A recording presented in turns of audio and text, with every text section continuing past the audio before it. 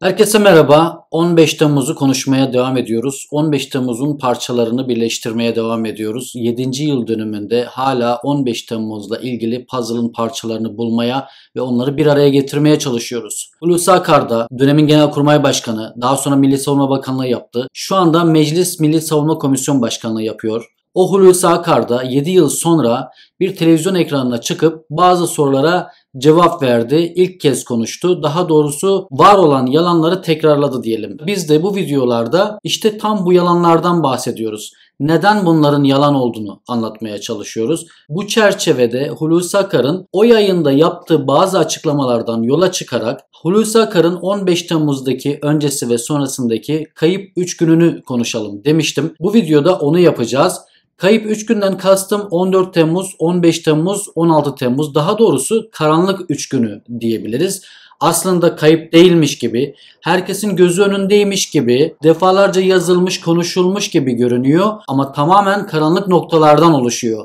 Daha önce yine yazdığımız, konuştuğumuz şeyler belki ama ilk kez böyle deli toplu bir şekilde bir araya getirerek belgesel niteliğinde bir çalışma ortaya koymak istedim. Hulusi Akar'ın kendi açıklamalarından yola çıkarak.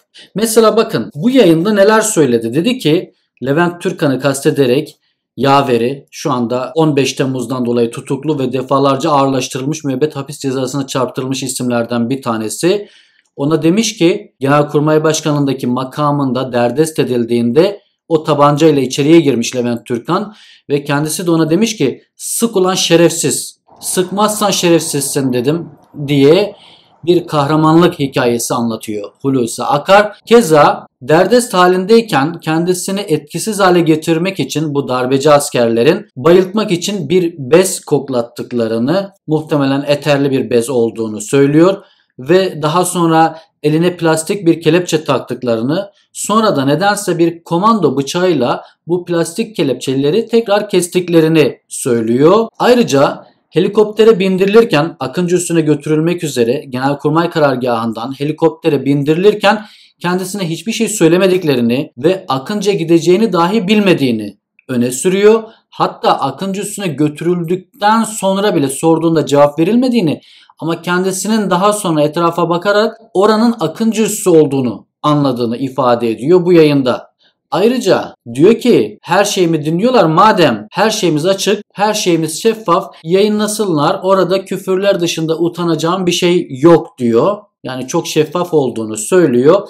Şimdi ben buralardan hareketle bir 3 günlük Hulusi Akar portresi çıkaracağım ve bir davranış analizi çıkaracağım. Ondan sonra hep birlikte karar verelim. Hulusi Akar ne kadar şeffaf, ne kadar doğruları söylüyor, gerçekleri paylaşıyor Türk halkıyla. Hep beraber karar verelim. Önce bir 14 Temmuz tarihine gidelim. Aslında belki 11 Temmuz'dan başlatmak lazım da çünkü neden? Örneğin Gökhan Şahin Sönmez Ateş daha önceki yayınlarda bahsettik artık herhalde herkes tanıyordur. 15 Temmuz akşamı Çiğli'den helikopterle Marmaris'e Cumhurbaşkanı Erdoğan'ın oteline gidip Erdoğan'ı oradan alıp Ankara'ya getirmekle görevli olan timlerden birisinin komutanı Gökhan Şahin Sönmez Ateş eski Tuğ General dedi ki ben darbeyi 11 Temmuz'da haber aldım. Bana 11 Temmuz'da söylendi ve bizzat Genelkurmay 1. Başkanından aldım dedi bu emri. Yani darbe emrini Hulusi Akar'dan aldığını söyledi 11 Temmuz'da. Sonrasında yaptıkları görüşmeler var ve sonrasında Hulusi Akar'ın şüphe çekici hareketleri, adımları, eylemleri var. Şimdi elbette şunu da ifade etmek lazım. Belki 11 Temmuz'dan bile başlatmamak lazım.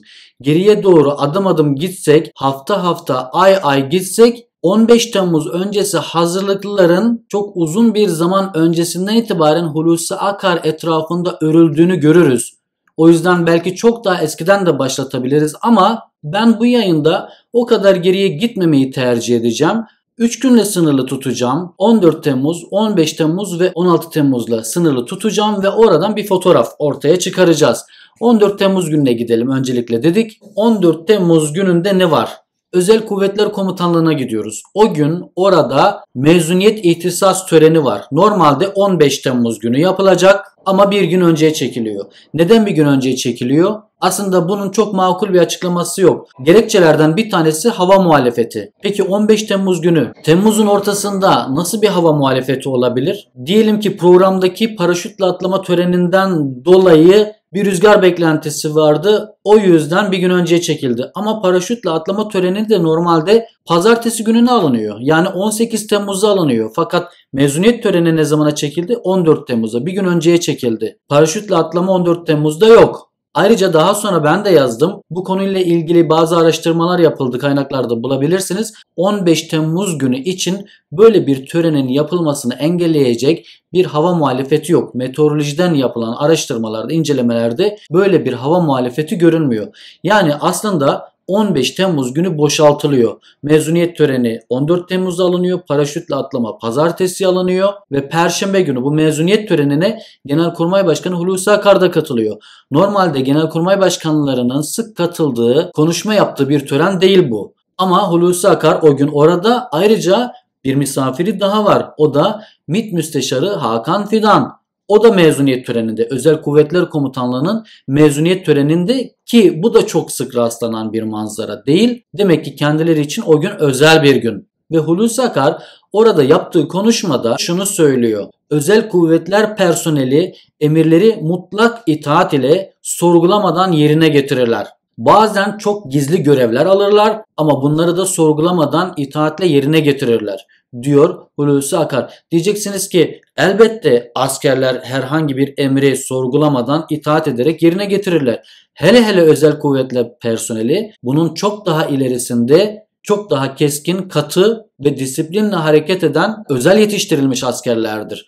Ama bir gün sonra dönemin Hava Kuvvetleri Komutanı Abidin Ünal'ın Yalova'da Hava Harp Okulu öğrencilerine kamptaki, kurstaki öğrencilere söylediği sözlerle beraber düşünülürse belki bir yere oturabilir. Abidin Ünal ne demişti? Öğleden sonra spora çıkarılacak olan öğrenciler için çocukları fazla yormayın akşam nasıl olsa yorulacaklar demişti. Bu da darbeyle ilişkilendirilmişti birçok yorumda 15 Temmuz günü yapılan bu konuşma. Hulusi Akar ise bir gün önce 14 Temmuz'da bu konuşmayı yapıyor ve bildiğiniz üzere darbe girişiminde ya da 15 Temmuz akşamı olanlarda bu görevlendirmelerde en kritik, en önemli görevler özel kuvvetler askerlerine verilmişti. Karargaha gelerek Genelkurmay Başkanı dahil olmak üzere üst düzey komutanları, generalleri alma ve Akıncı üstüne götürme görevi özel kuvvetlerdeki timlere verilmişti. Keza İzmir'den Marmaris'e giderek Cumhurbaşkanı Erdoğan'ı alacak olan timlerdeki askerlerin de çoğu özel kuvvetler geçmiş olan askerler de dolayısıyla bir gün öncesinde Hulusi Akar'ın böyle bir konuşma yapmış olması bu askerler tarafından sanki 15 Temmuz akşamı yerine getirilecek olan bu planla ilişkiliymiş gibi algılanmış olabilir ki kuvvetle muhtemel öyle çünkü girişte de dedim ya Hulusi Akar'ın 11 Temmuz'da darbe için emri verdiği bilgisi yayılıyor. En başta özel kuvvetlerde yayılıyor. Çünkü özel kuvvetler komutanlığında 11 Temmuz'dan itibaren bizzat Hulusi Akar'ın emriyle konvansiyonel olmayan harekat planı yani KOH planı adı altında bazı görevlendirmeler yapılıyor. Farklı farklı timler oluşturuluyor. Bu timlere özel askerler seçiliyor ve kendilerine özel bir görevlendirme olduğu söyleniyor. 15 Temmuz akşamı yerine getirilecek özel bir görevlendirme olduğu söyleniyor ve birinci başkan Genelkurmay Başkanı Hulusi Akar'ın emriyle verilen bir gizli görev olduğu söyleniyor.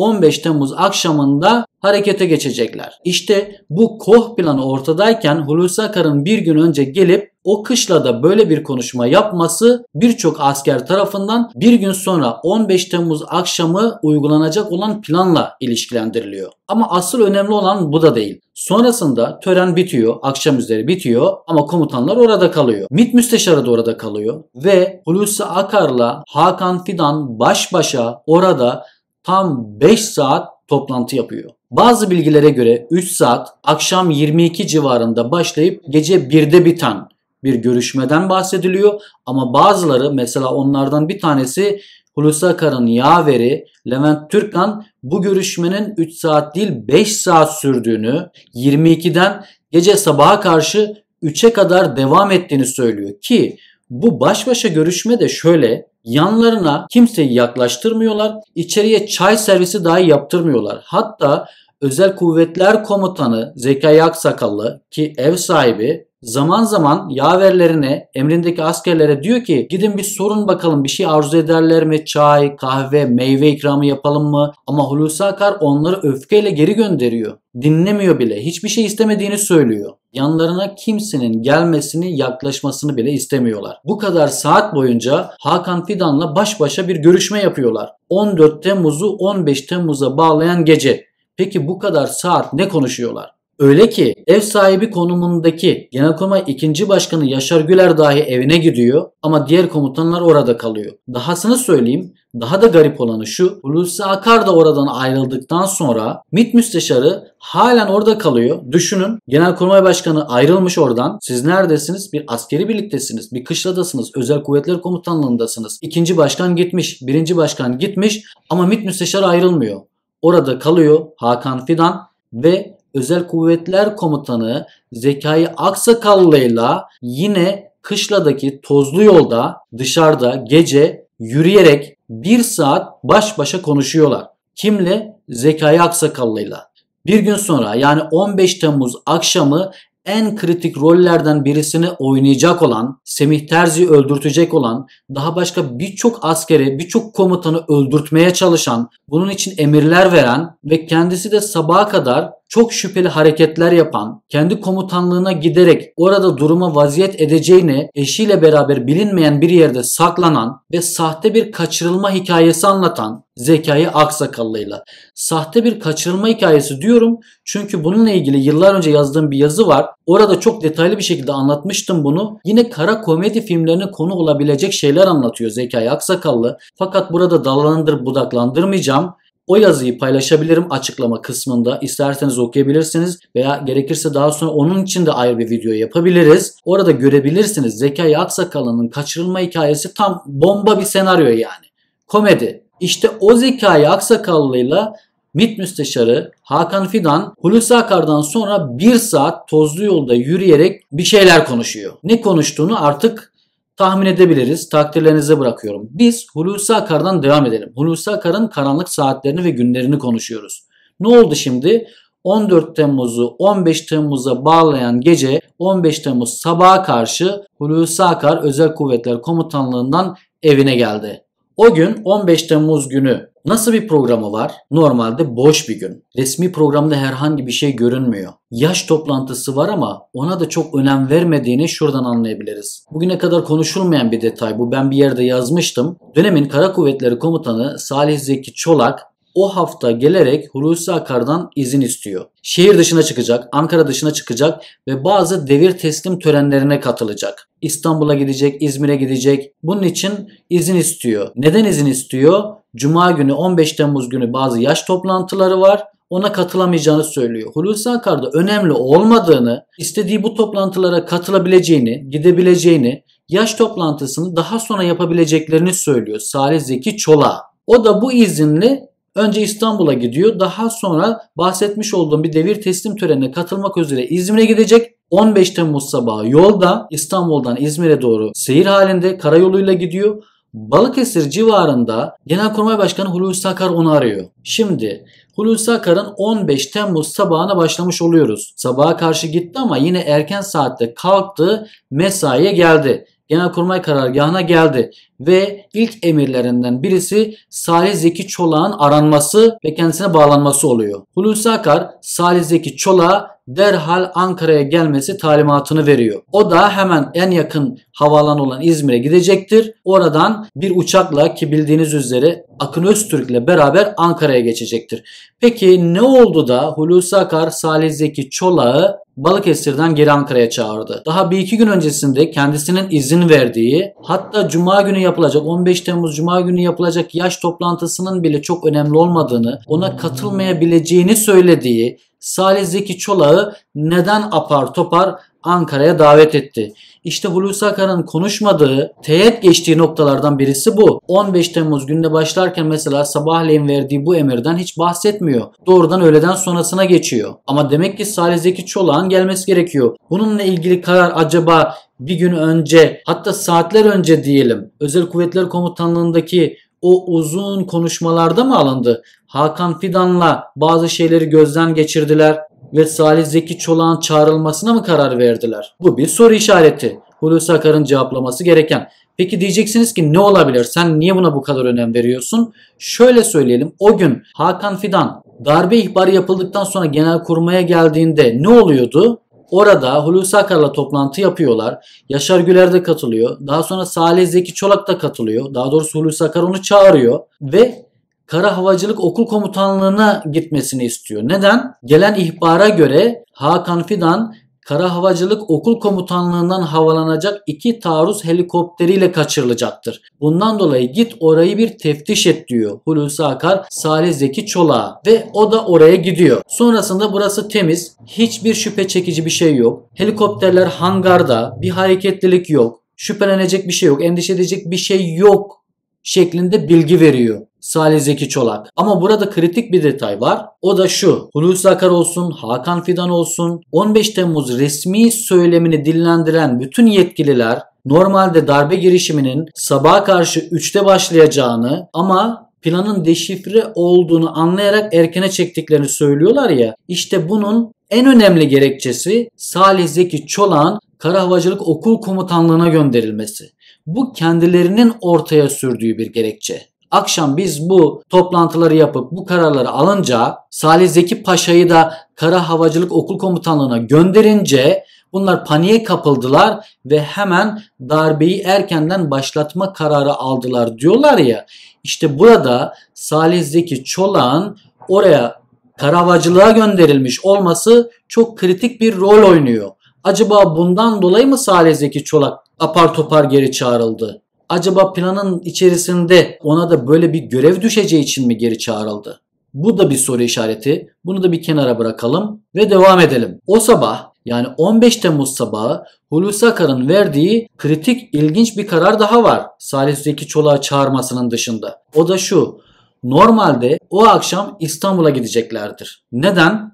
Ertesi sabah İstanbul'da yani 16 Temmuz Cumartesi günü İstanbul'da dönemin Başbakanı Binali Yıldırım'ın da katılımıyla bir gemi indirme töreni vardır ve Genelkurmay Başkanı da ona katılacaktır. Normalde Hulusi Akar bütün İstanbul seyahatlerine resmi programlardan bir gün önce çıkıyor. Yani diyelim ki 16 Temmuz Cumartesi günü ise resmi tören bir gün önce 15 Temmuz Cuma günü İstanbul'a hareket ediyor. Bu hep böyle olmuş. Bundan da Hulusi Akar'ın yazılmamış portresinde bahsetmiştim. Ama o sabah 15 Temmuz sabahı geliyor. Üçlere kadar Hakan Fidan'la baş başa görüşme yapmış. Gelmiş birkaç saat uyumuş. Tekrar karargaha gelmiş 15 Temmuz sabahı. Ve verdiği ilk emirlerden bir tanesi belki de birincisi bu olabilir. O akşamki İstanbul seyahatini iptal ediyor. Ve hiçbir gerekçe söylemiyor. Gerekçesiz olarak iptalde bulunuyor. Böylece ne oldu? Önce 15 Temmuz gündüzünü boşaltmışlardı özel kuvvetlerdeki mezuniyet törenini bir gün önceye çekerek akşamki İstanbul seyahatini de iptal ederek akşam saatlerini de boşalttı Hulusi Akar. Böylece mesaiye başlıyor. Öğleden sonra önemli ama gizli bir ziyaretçisi oluyor. Kim? AKP İstanbul Milletvekili Şirin Ünal. Emekli bir asker, emekli tüm general ve 15 Temmuz bahsinde adı kritik şekilde geçen aktörlerden bir tanesi Şirin Ünal. O gün programda hiç yok ve kimseye haber vermeden karargaha geliyor. Hulusi Akar'la baş başa bir görüşme yapıyor. Burada Şirin Ünal'la ilgili olarak özellikle şu notu düşmek gerekiyor. Şirin Ünal normalde darbe girişiminden bir ay önceden haberdar olduğu açıklanan emekli bir asker ve AKP milletvekili. Bunu kim söylüyor? Darbeyi ben ihbar ettim. Haziran ayında bunu Şirin Ünal'a söyledim diyen o sırada Gölcük Donanma Komutanlığı'nda görevli Assubay Hüseyin Gürler. Diyor ki ben darbeyi ihbar ettim. Darbe olacağını öğrendim ve bunu bazı kişilerle paylaştım. Onlardan birisi Şirin Ünal'dı ve kendisi bunu Sayın Cumhurbaşkanı'na iletti diyor. Hüseyin Gürler. Şimdi darbeden bu şekilde haberdar olduğu iddia edilen Şirin Ünal tam 15 Temmuz günü randevusuz bir şekilde Genelkurmay karargahına gelerek Hulusi Akar'la 2 saat baş başa gizli bir görüşme yapıyor makamında. Randevusu yok. Bu görüşmeden hiç kimsenin haberi yok. İşin ilginç tarafı şu. Şirin Ünal bu görüşmeden ayrılıp çıkarken Genelkurmay binasından çıkmak üzereyken Hulusi Akar özel kalemine emir vererek derhal geri döndürün kendisini diyor. Çünkü belli ki konuşacakları daha başka şeyler var. Ya yeni bir durum var ya yeni bir şey öğrenmiş ya da söylemeyi unuttuğu bir şey var. Bir şekilde tekrar görüşme ihtiyacı hissediyor ve kapıdan geri döndürüyor Şirin Ünal'ı. Ondan sonra bir müddet daha baş başa görüşme yapıyorlar. Esrarengiz ve enteresan olan noktalardan biri daha şu ki Hulusi Akar hemen emir vererek kayıtlardan bu görüşmenin çıkarılmasını istiyor. Kesinlikle randevu defterine yazılmamasını, yazıldıysa silinmesini ve bununla ilgili bütün kayıtların silinmesi emrini veriyor Hulusi Akar. Neden? Bakın neden diye sorular sıralayarak geliyoruz. 14 Temmuz'dan itibaren niye bir gün önce çekildi o tören? Oraya niye Hakan Fidan katıldı? Hatta niye Hulusi Akar katıldı? Hulusi Akar neden orada öyle bir konuşma yaptı? Gece neden 5 saat Hakan Fidan'la baş başa görüştüler? Ne konuştular? Sonrasında neden Zekai Aksakallı orada kaldı? Hakan Fidan'la bir saat konuştular. Ertesi sabah neden Hulusi Akar Salih Zeki Çolak'ı geri çağırdı Ankara'ya? Neden İstanbul seyahatini iptal ettirdi? Öğleden sonra neden Şirin Ünal randevusuz bir şekilde oraya geldi? Kimsenin haberi yok. Demek ki daha önce kendi aralarında konuşmuşlar ve özel kalemi, yaverleri, danışmanları atlatarak randevulaşmışlar. Hulusi Akar onu bekliyor. Şirin Ünal geliyor ama gittikten sonra da Hulusi Akar bu ziyareti kayıtlardan çıkarttırıyor. Bir şey gizliyor. Neyi gizliyor? Neden Şirin Ünal'la o gün böyle bir görüşme yaptığının bilinmesini istemiyor? Neden Levent Türkkan'ı çağırıp oğlum bu görüşme kesinlikle kayıtlara girmesin diyor. Bu soruya cevap ararken Belki şu da bize yardımcı olabilir. Burada bir önemli detayı daha paylaşayım. O Şirin Ünal akşam saatlerinde çok kritik bir rol daha oynuyor. 9.30 civarında tanıdığı kişileri arayarak bu Sayın Başkomutanımızın, Sayın Cumhurbaşkanımızın emridir. Bir darbe girişimi başladı. Herkesi sokaklara, meydanlara davet ediyor diyor. Saat kaçta? Tekrar ediyorum. 9.30'da. Emin miyiz bundan? Bu soru mahkemede soruldu. Bunu kim söylüyor? Doğrudan Şirin Ünal'ın aradığını ve kendisine bu talimatları verdiğini söyleyen Hüseyin Gürler. Hangi talimatları vermiş? Ulaşabildiğiniz herkesi organize edin, örgütleyin ve halkı meydanlara çıkarın talimatını veriyor. Kim? Şirin Ünal. Kimi? En azından birisini biliyoruz. O da Hüseyin Gürler. Yani bir ay öncesinde darbeyi ihbar ettim diyen Gölcük donanmadaki assubay. Hüseyin Gürler Şirin Ünal'a ihbar ediyor. O akşam da Şirin Ünal'la telefonlaşıyorlar ve 21.30 civarında Şirin Ünal'ın kendisine bu başkomutanımızın emridir, Sayın Cumhurbaşkanımızın emridir. Ulaşabildiğiniz herkese ulaşın ve halkı meydanlara çıkarın dediğini söylüyor. Bu mahkemede soruldu kendisine. Kime sordu? Hüseyin Gürler'e. Mahkemede bunu sordu. Hangi mahkeme? İstanbul 14. Ağır Ceza Mahkemesi. Uyuyan hücreler davası sırasında tanık sıfatıyla katılan Hüseyin Gürler'e bunu sordu. Hakim kendisine diyor ki emin misin 21.30'da mı? Evet diyor.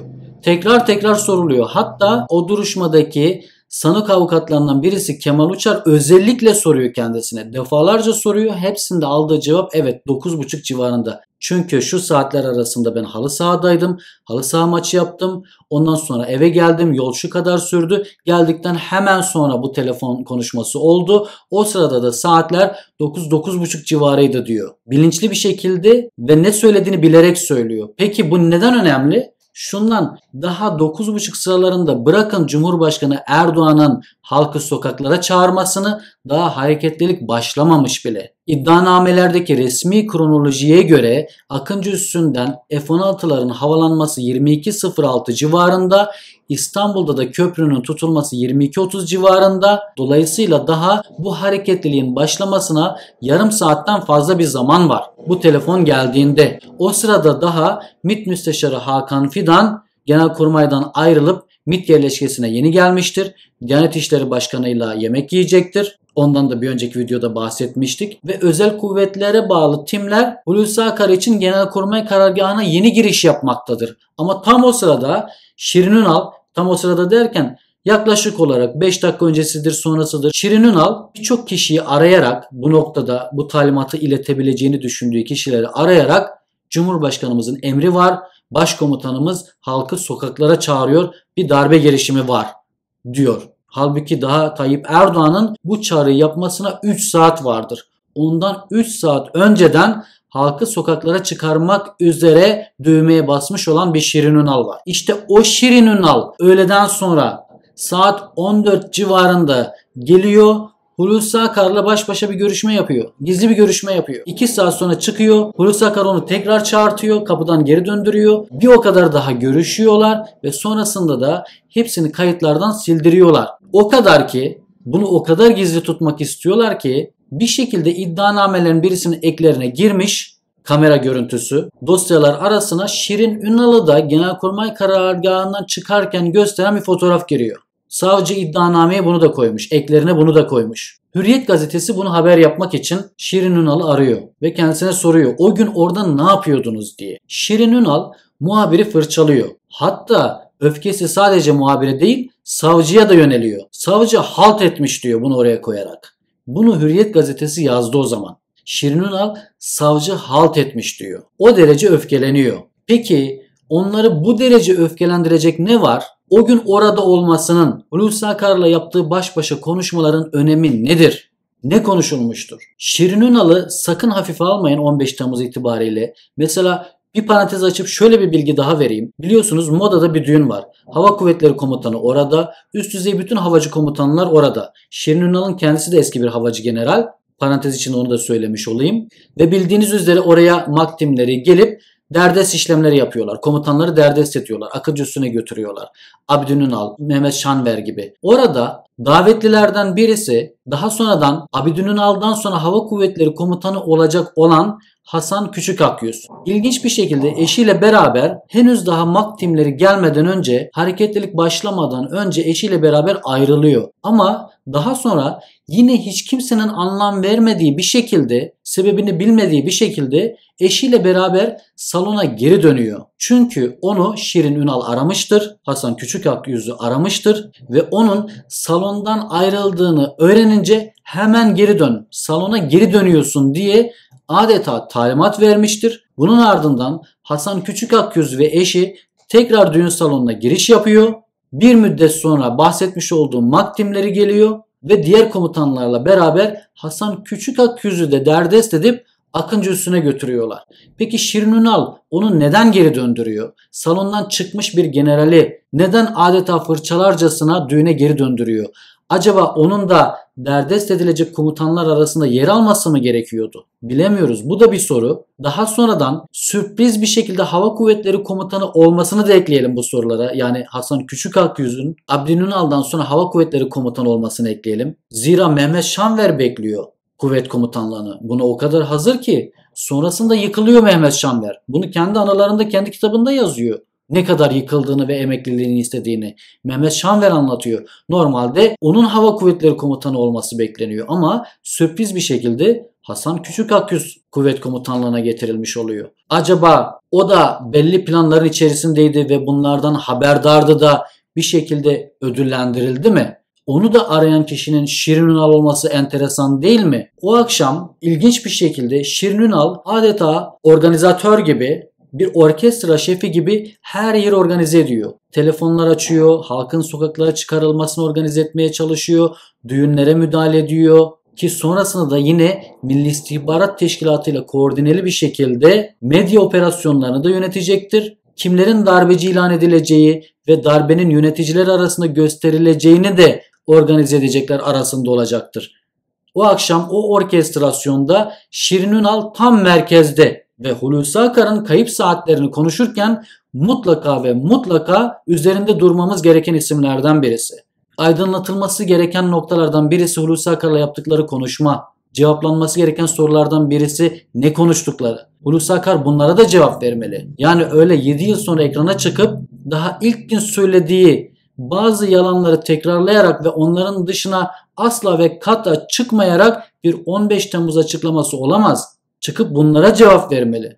Şimdi gelelim 15 Temmuz akşamına. Şirin Ünal'ı gönderdi. Hakan Fidan geldi. Onunla toplantılar yaptılar. Ve Zekai Aksakallı'nın dediği gibi darbeyi baştan bitirecek olan o emri vermedi. Bütün birliklerin kışlalarında kalması ve asla dışarıya çıkış yapılmaması emrini vermedi darbeyi önlemedi, ihbarı aldıkları halde önlemedi ve 15 Temmuz akşamı saatleri başlamış oldu Hulusi Akar için. Hakan Fidan'ı gönderdi saat 9'da ve 9.30 gibi özel kuvvetlere bağlı timler giriş yaparken bir hareketlilik başladı. ve kendi ifadesine göre o sırada Genelkurmay Stratejik Dönüşüm Daire Başkanı olan Tüm General Mehmet Dişli odasına giriyor, makam odasına giriyor ve darbe girişiminin başladığını tebliğ edip kendisine başımıza geçin teklifinde bulunuyor. Darbenin lideri siz olun, bizim başımıza geçin ve darbeyi yönetin teklifinde bulunuyor. Bunu Hulusi Akar'ın kendisi söylüyor. Peki o sırada Hulusi Akar ne yapmış? Nasıl bir tepki vermiş? Diyor ya sonradan Levent Türkkan tabancayla içeriye geldi. Sık ulan şerefsiz dedim. Peki Levent Türkkan gelinceye kadar Mehmet Dişli ile olan bu diyaloğu ne kadar sürdü? Diyelim ki Mehmet Dişli böyle bir teklifte bulundu kendisine. Onun da hiç darbeden haberi yoktu. Tamamen hazırlıksız yakalandı ve ilk kez o anda darbeden haberdar oldu. Yapabilecekleri neler? Bir defa orada bir alarm butonu var. Hem masasında var hem de lavaboda var. Yani tuvalete gidip arka tarafta lavaboyu kullanırken de alarm butonuna basabilir. Bunu bastığı anda bütün karargah harekete geçer, alarmlar çalmaya başlar ve sıra dışı bir tehlike olduğunu herkes anlar ve makam odasına doluşurlar. Hulusi Akar bunu yapıyor mu? Yapmıyor. Sonrasında ne yapıyorlar? Mehmet Dişli ile oturuyorlar. Televizyonu açıyorlar. Bir yandan televizyon açık televizyonu izliyorlar. O sırada içeriye servisler yapılıyor. Ve bütün bu talimatları Hulusi Akar veriyor. Televizyonu aç, su getirsinler, çay getirsinler. Emir vermeye devam ediyor Hulusi Akar. Bunları o akşam orada görevli olan bütün askerlerin ifadelerinden ayrı ayrı okuyabilirsiniz ve bu parçaları birleştirebilirsiniz. Bir tek Hulusi Akar farklı bir şey söylüyor. Diyebilirsiniz ki diğerleri çünkü darbecilikle suçlanıyor. Elbette onlar başka konuşacak. Oraya birazdan geleceğiz. Bunun cevabını o zaman vereceğim. Ama öncesinde bu ifadelerden devam edelim. Hulusi Akar emir vermeye devam ediyor. Bir derdest yok. Öyle bir silah çekme falan da yok. Hulusi Akar tam tersine darbenin başına geçebileceği izlenimini veriyor. Böyle hareket ediyor. Diğerleri hala karşısında süklüm püklüm böyle el pençe divan duruyorlar ki Mehmet Dişli zaten onu ailesinden biri gibi gören, bunu açıkça söyleyen, 20 yıldır her nerede görev yapmışsa Hulusi Akar onunla birlikte oraya giden, kendisine adeta böyle hayranlıkla bağlı olan sadece bir komutan olarak değil bir komutanın daha ötesinde büyük bir hayranlıkla bağlı olan Mehmet Dişli. O Hulusi Akar'a emir vermek, bağırmak, çağırmak, derdest etmek gibi bir şeyin içerisine asla girebilecek birisi değil. Hulusi Akar'a karşı asla böyle zorbaca onu alaşağı edercesine, derdest edercesine hareketlerin içerisine girebilecek birisi değil. Aralarında böyle bir ilişki yok.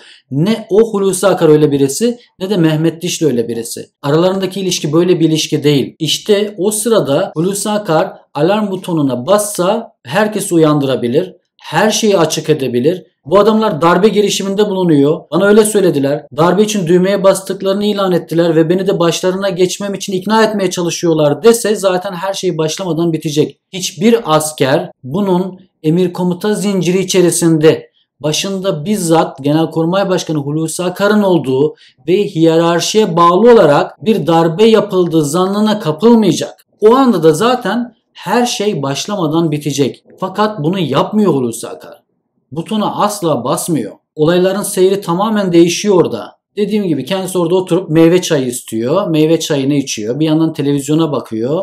Vakit geçiriliyor. Ve iddia ettiği gibi Levent Türkkan içeriye tabancayla gelip kafasına silah dayamıyor. Nereden biliyoruz bunu da biliyor musunuz? Aslında daha sonraki saatlerde geleceğiz oraya ama Akıncı'ya gittikten sonra Mehmet Dişli'ye söyleyip Levent'i ara bizim hanımı arasın deyip kendi eşini aratıp iyi olduğu haberini verdiriyor. Kime? Levent Türkkan'a. Ya bu adam gelip sizin kafanıza silah dayadıysa, sizi öldürmek istediyse ve siz de ona sık olan şerefsiz dediyseniz o zaman eşinizi aratıp sağ ve salim olduğunuz haberini vermesi için niye onu görevlendiriyorsunuz? Böyle bir görevi sizi öldürmek isteyen askere mi verirsiniz? Dediğim gibi buraya daha sonra geleceğiz ama şuradan devam edelim. Böyle bir olay yok o sırada. Saat 23 sularına kadar içeride kalmaya devam ediyor. Sonrasında işte bir helikopter geliyor, gönderiliyor. İkinci bir helikopter geliyor. 23'ü biraz geçtikten sonra, saat 11'i biraz geçtikten sonra Hulusi Akar helikoptere doğru yürümek üzere harekete geçiyor ve o sırada kameralara yakalanıyor. Genelkurmay'daki binanın içindeki güvenlik kameralarına girmiş oluyor Hulusi Akar ve beraberindekiler. Şimdi Orada da Özel Kuvvetler Komutanlığındaki timler Hulusi Akar'ı derdest etmeye geldiyse ve onu derdest ettilerse O zaman makam odasındaki çıkışta neden yanında özel kuvvetler timleri yok? Aynı zamanda Genelkurmay Emniyet Subaylığı 1A giriş kapısı kamera kayıtlarının 2 saatten fazlası yok. Buralar kesilmiş. Kesildikten sonra savcılığa verilmiş. Bir şeyler karartılıyor. Neden karartılıyor? Neden ham olarak bütün kamera kayıtları verilmiyor? Ama eldeki verilere göre en azından görebildiğimiz ilk Hulusi Akar'ın çıktığı sahnelerde o görüntülerde odadan çıkarken yanında özel kuvvetler personeli yok. O zaman onu içeride kim derdest etti? Derdest edecek askerler dışarıda bekliyor. Komutan içeride elini kolunu sallayarak çıkıyor. Çok rahat bir şekilde, özgüvenli bir şekilde Mehmet Dişli ve diğerleri hala emir eri gibi böyle yanında duruyorlar. Emir Subay Yardımcısı Serdar Tekin montunu giydiriyor Hulusi Akar'a. Dediğim gibi Mehmet Dişli ile beraber yalnız ikisi komutan kapısından çıkış yapıyor. Helikoptere doğru yürüyorlar. O önde, diğerleri arkada. Talimatlar vermeye devam ediyor. Mesela kepini unutmuş, şapkasını unutmuş. Korumalarından Assubay Başçavuş Abdullah Erdoğan'a git oğlum e, şapkamı unutmuşum onu al gel diyor. O da koşarak gidip şapkasını alıp getiriyor. Hulusi Akar çok rahat. O yavaşlıyor, herkes yavaşlıyor. O duruyor, herkes duruyor. Yürümeye başlıyor, herkes yürümeye başlıyor. Her zamanki gibi, her zaman olduğu gibi, bir komutan gibi, diğerlerinin hepsi de emrindeki askerler gibi hareket ediyor. E derdest edilen diğer komutanların ağzı bağlanırken, yerlerde sürüklenirken, elleri bağlanırken neden Hulusi Akar'da böyle bir görüntü yok? Neden o bu kadar rahat ve özgüvenli bir şekilde talimatlar vererek, emirler vererek kendi isteğiyle yürüdüğü çok belli bir şekilde helikoptere gidiyor. Kamera kayıtlarında gördük bunları. Bütün Türkiye izledi. Bir derdest edilmiş komutan görüntüsü var mı? Kesinlikle yok. Çok net. O halde bu farkın nedeni ne? Diğer komutanlarla Hulusi Akar arasındaki fark ne? Fark şu. Çünkü o darbenin başında olduğu izlenimini veriyor. Darbeye karşı etkisiz hale getirilmesi gereken bir komutan değil de darbeyi yöneten veya yönetecek olan ağzının içine bakılan komutan olarak hareket ediyor. Bu şekilde 15 Temmuz'u da 16 Temmuz'a bağlıyoruz. Akıncı üstüne gidiyor ve orada da aynı şekilde muamma dolu saatler başlıyor. Ama hani diyor ya yayında ben Akıncı üstüne gideceğimi bilmiyordum. Bana söylemediler diyor ya. Şimdi bir şey hatırlatayım. Daha önceki yayınlardan birisinde bahsetmiştim. Ben darbeyi biliyordum ve darbeciyim diyen iki askerden birisi olan binbaşı Şükrü Seymen ne diyordu? Henüz daha 9.30 civarında İzmir'den Akıncı Üssü'nü arıyor. Hulusi Akar'ın eski özel kalem müdürü Osman Kılıç'a diyor ki Hulusi Paşa geldi mi Akıncı Üssü'ne? O da hayır diyor. Haberi bile yok. Akıncı'ya gelecek diyor. Bana da bir görev verildi. Onunla ilgili beklemedeyim diyor İzmir'de. Hulusi Paşa Akıncı'ya gelecek diyor. O da görevin ne olduğunu sorduğunda Osman Kılıç Şükrü Seymen onu söyleyemem diyor. Yani bu konuşmadan neyi anlıyoruz? Bir, Hulusi Akar'ın Şükrü Seymen'in Cumhurbaşkanı Erdoğan almakla görevli olduğunu bildiğini, bundan haberdar olduğunu ve o Hulusi Akar'ın Akıncı üstüne geleceğini, Akıncı üstüne geldikten sonra da Şükrü Seymen'le görüşeceklerini ve bu görev için talimat vereceğini, belki de düğmeye basacağını ve onları harekete geçireceğini anlıyoruz buradan. Bunların hepsi o hafta içerisinde konuşulmuş, kararlaştırılmış. Yani Hulusi Akar'ın ben Akıncı üstüne gideceğimi bilmiyordum bana söylemediler demesi yalan. Bunların hepsi o gizli konuşmalarda, baş başa konuşmalarda üzerinden geçilmiş detaylar, planlamalar. O yüzden diğer bir darbeci olduğunu itiraf eden asker Gökhan Şahin Sönmez Ateş bizi İzmir'de saatlerce beklettiler. 4 saat beklettiler boşu boşuna tuzağa düşürdüler, kumpasa getirdiler ve onların başında da Hulusi Akar vardı diyor. Çünkü bu görevlendirmenin içinde olanlar biliyor ki Hulusi Akar bu planların başındaydı, haberdardı ve Akıncı üstüne gelecekti. Akıncı üstüne gelmesi bu planın içerisinde ve bu şekilde 16 Temmuz'un ilk saatleri başlamış oluyor. Gece 12'yi geçtikten sonra ki hemen hemen o sıralarda zaten üste getiriliyor ve orada komutan odasında tutuluyor. Orada ne oluyor peki? Aynı genelkurmay karargahında olduğu gibi ikramlar, kahveler, filtre kahveler geliyor. Kuru yemişler geliyor. Ki Hulusi Akar'ın bazı rahatsızlıklarından ötürü akşamları, geceleri kahve içmediği biliniyor. Sadece çok keyifli olduğu anlarda kahve içtiği biliniyor. Fakat ne hikmetse Hulusi Akar Akıncı üstünde peş peşe filtre kahve içiyor. Yine orada bütün askerler etrafında pervane, bütün talimatları yerine getiriliyor. Düşünün Bir darbe oluyor. Siz darbenin içinde yoksunuz. Tam tersi darbenin önünde bir engelsiniz. Junta en başta sizi bertaraf etmek zorunda, etkisiz hale getirmek zorunda ve bunun için sizi izole etmesi gerekiyor, kelepçelemesi gerekiyor, ağzınızı bantlaması gerekiyor, bir yere kitlemesi gerekiyor tek başınıza ama bunların hiçbirisi olmadığı gibi siz komutan odasında bacak bacak üstüne atıp oturuyorsunuz, televizyon izliyorsunuz, filtre kahvenizi içiyorsunuz, kuru yemişinizi yiyorsunuz ve emirler veriyorsunuz. Peki bu emirleri ne yönde veriyorsunuz? Mesela sabaha kadar kaç telefon görüşmesi yapılmış Mehmet Dişli üzerinden?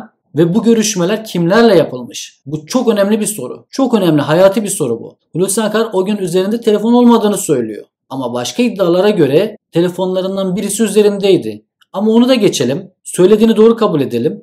Mehmet Dişli'de o gece iki tane telefon var. Birisi şahsi telefonu, birisi de genel kuruma yattı. Hulusi Akar o gece Mehmet Dişli'ye kimi ara dese onu arıyor. Tekrar edeyim. Hulusi Akar Mehmet Dişli'ye kimi ara dese arıyor Mehmet Dişli. Çünkü inisiyatif Hulusi Akar'da. Kararları Hulusi Akar veriyor. Peki Hulusi Akar o gece kimleri aratmıştır? Sizce kimleri aratmıştır? Cumhurbaşkanı aratmış mıdır mesela? Başbakanı aratmış mıdır? MİT müsteşarını aratmış mıdır? Diğer kuvvet komutanlarını aratmak istemiş midir? Arayın demiş midir? Televizyonları aratmış mıdır mesela? İstese aratabilir mi? Aratabilir. İstese çok daha erken bir şekilde bazı olayları durdurabilirdi bu sayede. Ama aratmıyor. Ta ki sabah 7.30'a kadar. 7.30'da Cumhurbaşkanı ile görüşüyor. Neden? Çünkü 1. Ordu Komutanı Ümit Dündar vekaleten Genelkurmay Başkanlığı'na atanıyor da o yüzden Ümit Dündar'ın Genelkurmay Başkanlığı'na vekaleten atanmasının ardından çünkü Hulusi Akar derdest edilmiş ya kendisine ulaşılamıyor ya o yüzden Ümit Dündar vekaleten Genelkurmay Başkanlığı'na atanıyor. Hemen arkasından Hulusi Akar Mehmet Dişli'ye bir talimat vererek Cumhurbaşkanı ile görüşüyor. Cumhurbaşkanı aratıyor Mehmet Dişli'ye. Yani iş işten geçtikten sonra. Yani her şey bittikten sonra Cumhurbaşkanı aratıyor Mehmet Dişli'ye. Ha bu arada e, az önce sözünü etmiş olduğum o telefon görüşmesi yani eşini aratması Akıncı üstüne gittikten hemen sonra 23.47'de bildiğim kadarıyla Mehmet Dişli'ye talimat veriyor. Diyor ki Levent'i ara, Şule Hanım'ı arasın. Eşi Şule Hanım'ı arasın ve benim iyi de olduğumu söylesin.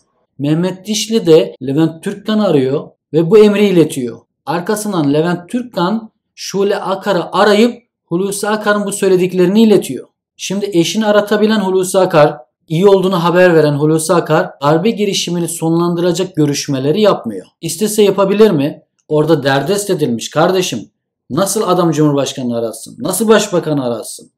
Aratmak istese bile ararlar mı hiç? Buna müsaade ederler mi? diye soracaksınız. Evet isteseydi Hulusi Akar o gece o saatlerde Cumhurbaşkanı Erdoğan'la görüşebilirdi. Hiçbir ifadede, hiçbir kayıtta Hulusi Akar'ın orada derdest bir vaziyette olduğunu gösteren bir şey yok. Bir de üstüne basa basa söylüyorum. Mehmet Dişli asla ve asla Hulusi Akar'ı çiğneyebilecek, onu gözaltına alabilecek, ona zorbalık yapabilecek, onu etkisiz hale getirebilecek bir asker değil. Aralarındaki ilişkiyi bilen herkes bunu teyit edecektir. Bunu yapamaz Mehmet Dişli. Hulusi Akar da buna müsaade etmez. Orada Akın Öztürk var mesela. İfadeleri açın okuyun. Akın Öztürk de Hulusi Akar Cumhurbaşkanını aramak istemesi halinde buna engel olabilecek birisi değil bu konumda değil.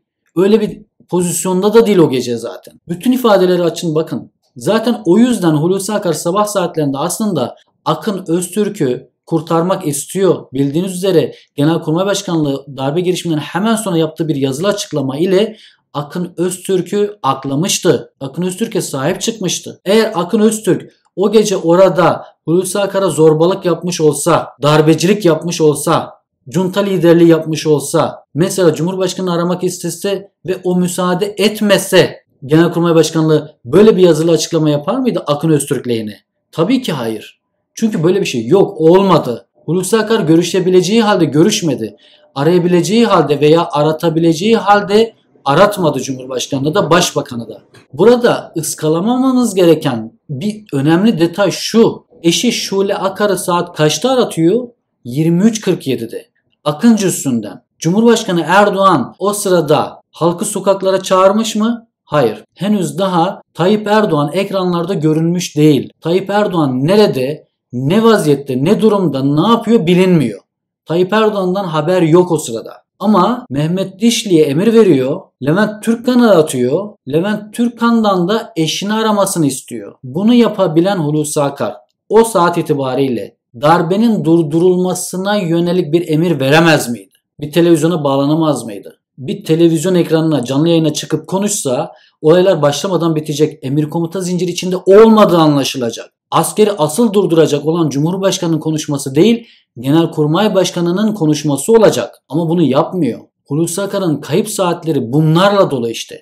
O üç günü bunlarla dolu. O yüzden bizzat içinde bu kumpasın, bu komplonun tam merkezinde, tam göbeğinde bir isim Hulusi Akar. Daha bunlara ekleyebileceğimiz çok şey var. Devam ediyoruz. Bunları konuşacağız ama benim konuşmadığım, konuşmaya fırsat bulamayacağım, buna eklememiz gereken onlarca belki yüzlerce daha soru olacak. Bunlar konuşulmaya devam edilecek. Kaldığımız yerden şöyle ilerleyelim. Mesela yargılama sırasında mahkeme başkanı Selfet Giray Mehmet Dişli'ye bunu soruyor. Diyor ki neden Cumhurbaşkanı, Başbakan veya MİT müsteşarını aramadınız o gece? Mehmet Dişli diyor ki benim oradan sabah saat 7.30'a kadar aradığım 4 kişi var. 23.30 civarında Akıncı üstüne getirildi. 8 saat boyunca darbenin, darbe girişiminin en sıcak, en canlı, en zirvede olduğu saatlerde sabaha kadar 7.30'a kadar 4 kişi aradım diyor Mehmet Dişli. Ve Hulusi Akar'ın talimatıyla aradım diyor. Krizi sonlandırma safhasında artık olan olmuş ve bunu sonlandırmak için temaslara başlandığı sırada yani saat 7.30'dan itibaren yaptığım görüşme sayısı ise 58 diyor Mehmet Dişli. Hulusi Akar'ın talimatıyla 8 saat boyunca sabaha kadar 4 yeri aradım. O bana 4 yeri arattı ama 7.30'dan sonra 58 yeri aradım. Bunlar da tamamen başbakanlık, MIT ve bu şeylerle ilgili diyor. Peki Cumhurbaşkanlığı, Başbakanı ve MİT Müsteşarını daha öncesinde niye aramadıkları sorusuna ne cevap veriyor? Sayın Başkan, şimdi benim orada herhangi bir inisiyatif kullanma yetkim, durumum yok. Genelkurmay Başkanı'nın emirleri dışında ben böyle bir şey yapamam. Eğer komutanımız bana ara deseydi onları da arardım. Ama benden böyle bir talebi olmadı, böyle bir emri olmadı diyor Mehmet Dişli. Yani buradan da anlıyoruz ki Hulusi Akar sabaha kadar bir oyun oynadı, ikircikli davrandı ya da böyle bir görüntü verdi. Sanki her an olayların seyrini değiştirebilecekmiş gibi, darbenin başına geçebilecekmiş gibi, bildiriyi okuyacakmış gibi ve bütün havayı tersine döndürebilecekmiş gibi bir izlenim veriyor. Hiçbir şekilde gerçekten darbeyi durdurmaya yönelik atılması gereken o adımları atmıyor. En baştan beri atmıyor. Bakın sıralıyoruz. Zekai Aksakal'ın açıklamasını hatırlatıyorum. Daha saat 18 civarında bir yazılı emirle her şeyi başlamadan bitirebilirdi. Oralardan itibaren adım adım darbeyi bitirebilecek, durdurabilecek, başlamadan da bitirebilecek, daha sonradan da başladığı andan itibaren daha da ileri seviyelere geçmesini önleyecek şekilde bitirebilecek fırsatları olmasına rağmen Mesela odasından alarm butonuna basmak gibi. O sırada telefon olmasına rağmen üzerinde araması gereken yerleri aramamak gibi. Bakın önemli kendisini derdest etmeye geldiği iddia edilen özel kuvvetler timi odasında değil. Mehmet Dişli ile beraber orada. En fazla söyleyebildiği şu. Levent diyor yaverim Levent Türkkan geldi başıma silah dayadı diyor. En fazla söyleyebildiği bu. Yani orada derdest timi yok. O sıralarda telefonla istediğini arayabilir, durdurabilir, bitirebilir. Buna çeşitli kereler fırsatı oluyor. Ama bu fırsatların hiçbirisini kullanmıyor. Çünkü kullanmak istemiyor. Çünkü böyle bir izlenim veriyor. Çünkü bu izlenimi vermesi gerekiyor. Çünkü plan böyle. Çünkü zaten böyle kararlaştırılmış. Hakan Fidan'la bir gece önce 5 saat Özel Kuvvetler Kışlası'nda baş başa ne konuştu? Şirin Ünal'la Genelkurmay'daki makamında 4 saat baş başa ne konuştu? Kayıtlardan sildirmek isteyeceği şekilde o kadar gizli tutmak istediği bir görüşmede ne konuştu? Sonrasında Hakan Fidan geldi. 3 saat ne konuştular? Bunları konuştular işte. Bunları gözden geçirdiler. O yüzden zaten bu fırsatların hiçbirisini kullanmaması gerekiyordu. Durdurmaması gerekiyordu. Aynen yaşandığı şekilde bu şekilde olması gerekiyordu. Fakat onun emriyle hareket eden, onun yönlendirmesiyle hareket eden, bir beklentiye giren ya da emir komuta zinciri içerisinde emirleri yerine getiren ne derseniz deyin her ikisi de vardır daha fazlası da vardır. Bu askerleri sabaha kadar oyalıyor. Ondan sonra da sizi kurtarabilirsem ancak ben kurtarırım. Bakın Ümit Dündar Genelkurmay Başkanı oldu. Onu atadılar. Eğer o genelkurmay başkanı olursa ben de suçlanırsam buradan asla çıkamazsınız. Her şey çok kötü olacak. Ben hiç olmazsa sizi koruyabilirim, kurtarabilirim. En azından askeri savcılıkları harekete geçirebilirim. Sadece askeri savcıların sizi almasını ve askeri mahkemelerin sizi yargılamasını garanti edebilirim. Size kötü muamelede bulunulmasını engelleyebilirim diyerek ondan sonra işte Cumhurbaşkanı ile Başbakanla görüşmeye başlıyor. İşte ondan sonra oradan çıkmayı başarıyor. Normalde bu şekilde ikili oynadığı, birilerini aldattığı anlaşıldığında onu bırakmayabilirler Akıncı üstünden. Fakat bu sefer de bu kozu kullanarak çıkmayı başarıyor. Burada ilginç olan şeylerden birisi de ne? Hadi Hulusi Akar aramıyor. Peki Mehmet Dişli'yi sabaha kadar Cumhurbaşkanı arıyor mu? Aramıyor. Başbakan arıyor mu? Hayır. Diğer hükümet yetkilileri arıyor mu? Milli Savunma Bakanı arıyor mu? Hayır. İçişleri Bakanı arıyor mu? Hayır. Kimse aramıyor. Mehmet Dişli'ye gelen böyle bir telefon yok. Hiçbir kayıtta yok. Olsa zaten çıkardı. Aramıyorlar. Ne Hulusi Akar Cumhurbaşkanı'nı arıyor veya Başbakanı arıyor ne de onlar Hulusi Akar arıyor. Sanki anlaşmış gibiler. Bir şekilde sabah 8 olduğunda artık Akıncı üstünden ayrılıyor Hulusi Akar. Genelkurmay'a gidecek ki daha sonra karar değiştiriliyor. Başbakanlığa Çankaya Köşkü'ne gidiyor ama kendisini götürecek olan bu helikoptere ilk bindiğinde helikopter pilotuna ne diyor? Bakın pilot Uğur Kapan bunu açıklıyor mahkemede. Hulusi Akar bana kulağıma erken başladık, beklemeliydik, rezil olduk dedi diyor. Kim? Kendisini Akıncı üstünden alıp başbakanlığa götüren helikopterin pilotu Uğur Kapan. Peki bütün bunlara rağmen Hulusi Akar nasıl oldu da 15 Temmuz'un kahramanı sayılırken onun %1'i kadar şüpheli hareketleri olmayan, onun %1'i kadar bu kalkışmanın içerisine dahil olmayan, hakkında onun %1'i kadar soru olmayan bir sürü asker, eski silah arkadaşı veya emrindeki askerler darbeci ilan edildi. O kahraman ilan edildi. Nasıl oldu bu? Nasıl hiç kimse Hulusi Akar'dan şüphelenmez? Nasıl onu hiçbir şeyle suçlamazlar? En azından tedbiren bir süreliğine dahi olsa kenara almazlar. Emekliye sevk etmezler. Neden ilk andan itibaren ona bu kadar güvenirler? Düşünün. Başbakanlığa götürülmüş. Yanında Mehmet Dişli de var.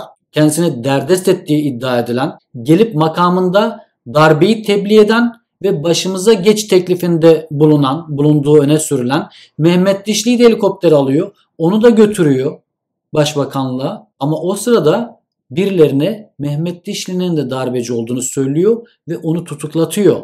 Ona bu kadar güven duyuyorlar. Neden? Bu kadar şüpheli hareketleri olan, hakkında soru işaretleri olan 15 Temmuz günü de sabaha kadar Akıncı üstünde derdest edilmemiş bir vaziyette kalmış olan Hulusi Akar'ın sözüne neden bu kadar itimat ediyorlar?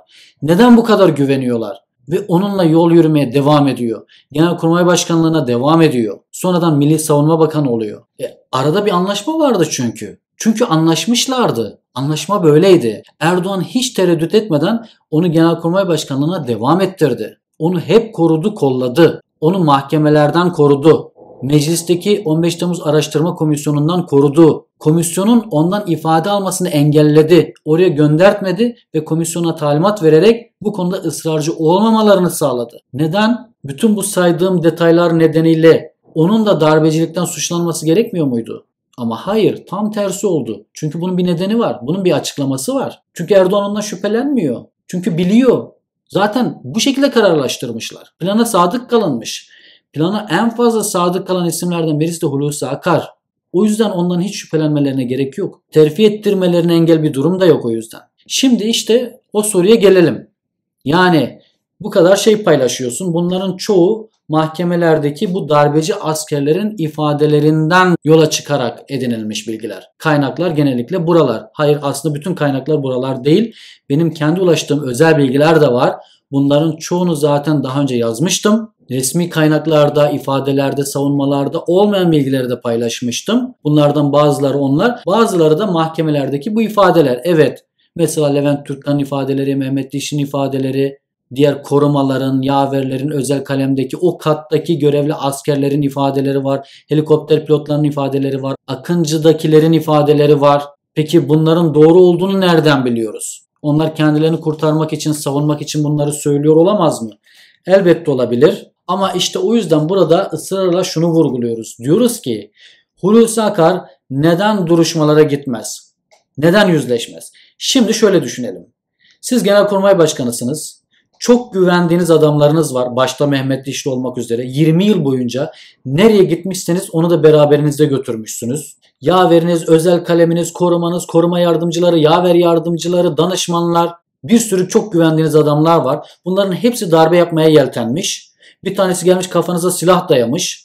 Ötekisi biz darbe yapıyoruz gel başımıza geç komutanım demiş. Bir sürü rezillik olmuş. Silahlı kuvvetlerin itibarı 5 paralık olmuş. İhanete uğramışsınız.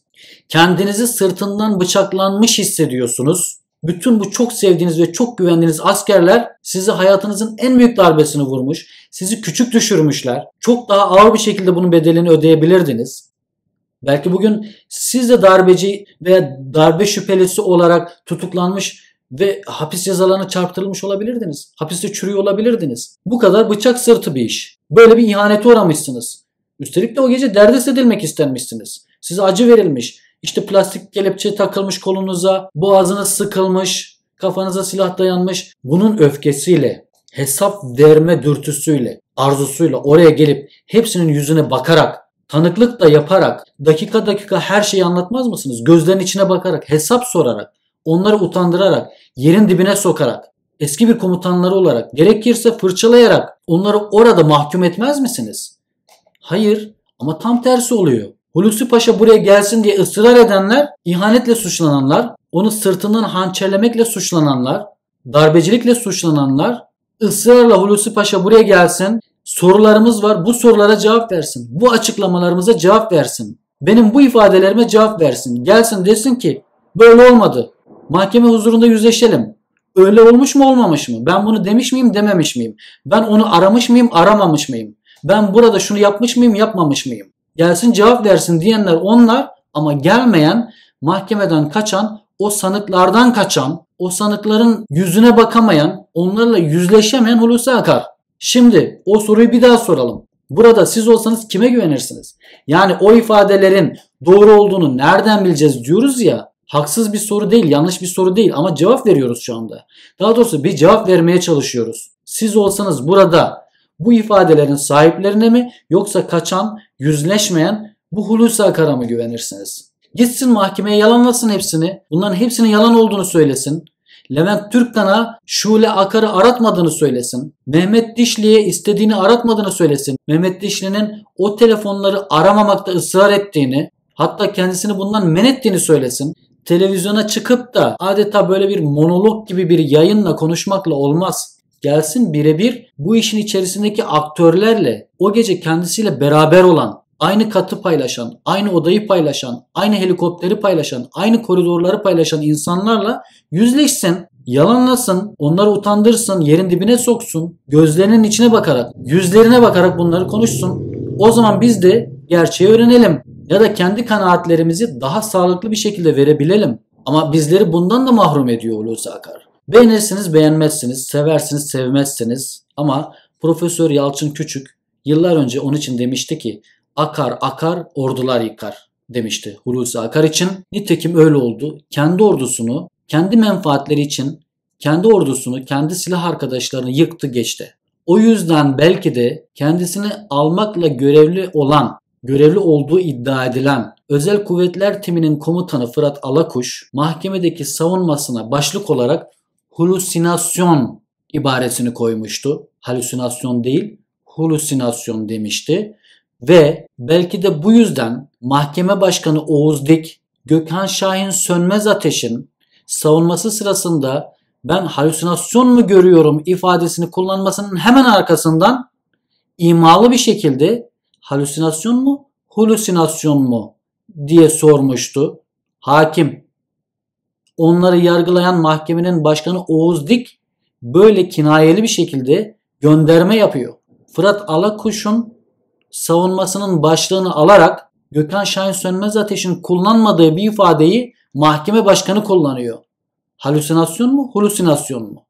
Aslında birçok kişi olayların farkında. Fakat rejim böyle istediği için, böyle kurulduğu için hiç kimse aksini söyleyemez şu an için. Ama Hulusi Akar'ın bu karanlık saatleri, karanlık dakikaları hep konuşulmaya devam edilecek. Umarım bir gün gerçekten aydınlanır. Gerçekten buna tatmin edici cevaplar bulabiliriz. Bunlar karanlık birer sır olarak mezara gitmez, tarihin karanlık sayfalarına gömülmez ve biz bütün çıplaklığıyla gerçeklere ulaşırız. Böylece kaba hatlarıyla, aklımda kaldığı kadarıyla yapabildiğim ölçüde Hulusi Akar'ın 14 Temmuz, 15 Temmuz ve 16 Temmuz'daki karanlık soru işaretleri barındıran saatlerini bir derleyip toparlamış oldum. İzlediğiniz için çok teşekkür ediyorum. Sonraki yayınlarda görüşmek üzere. Hoşçakalın.